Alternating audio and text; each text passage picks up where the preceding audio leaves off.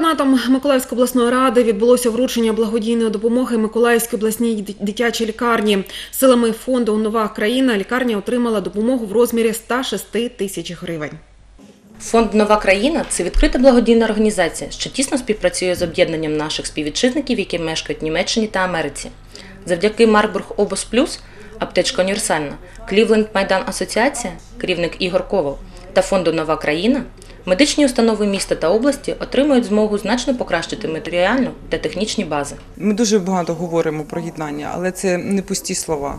Це коли влада, небайдужі громадяни, благодійні фонди можуть об'єднати зусилля, знайти якусь е, допомогу е, підприємств, сторонніх благодійників і отримати те, що ми сьогодні презентуємо, той е, інструментарій, і допомогу, яку надав благодійний фонд.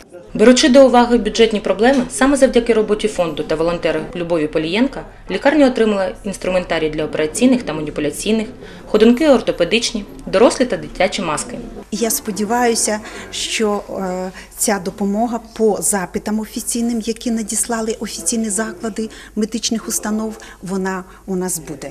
Через неділю, через дві, через місяць я не можу цього сказати, але буде. Медичний персонал високо оцінив нове обладнання. За словами заступника головного лікаря дитячої лікарні Олега Бабіна, інструментарій дуже високої якості і прослужить не один рік.